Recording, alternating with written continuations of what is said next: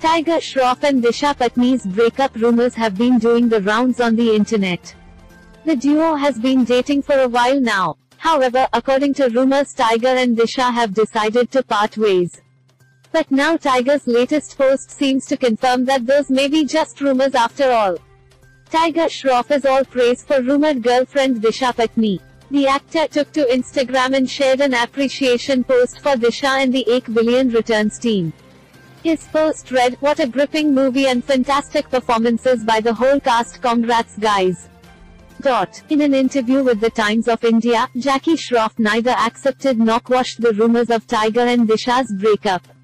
Instead, he mentioned that both the actors are still friends and he has seen them go out together.